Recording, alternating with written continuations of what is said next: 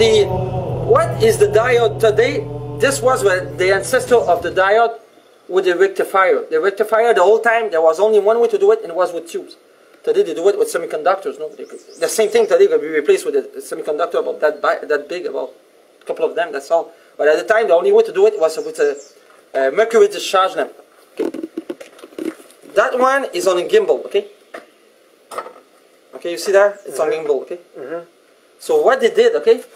You see in the front, if you, there's a knob there, okay? You see yes. the knob? Yep. They turn it up, and what happened is that it short circuit the mercury. It it it's it it it, it bounce. It doesn't bounce, but it wiggles back and forth. I won't touch it too much, but it made the mercury contact there and created a short.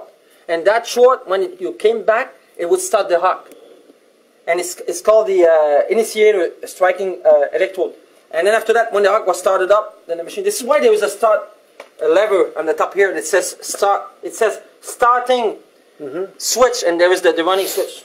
Those are some of those well, I use. I mean, some in the power station they use them in an old time power station.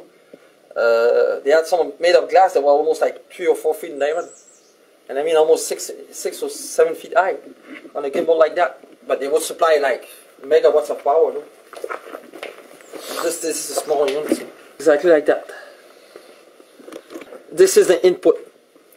That's the input. Yeah, this is the power input there. And the DC was going, the DC is on this side.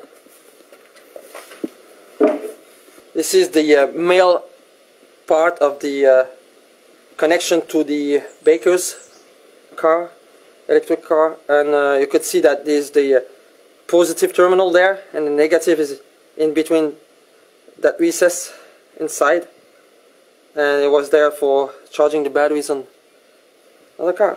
This is a, a, probably a choke, a, a, reactor choke. Okay, listen this. This is the striking electrode. Okay. This is this is a, what's called a probe start. Okay. This is the DC stage output. AC one side and AC on the other side. Half wave AC, half wave AC on the other side running switch. This is running switch, starting switch. Limit current. That's a reactance choke? Yeah, to limit current. At the bottom. Steve? Say resistor grid. And and I don't know if because I'm trying oh, okay, okay there's a there's a name.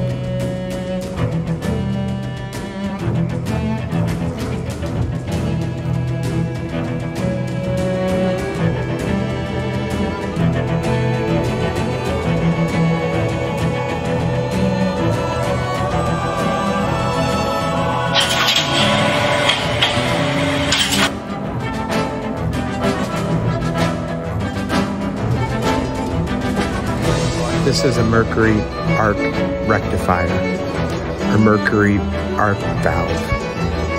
This device was used for converting high voltage in many of the devices of the past.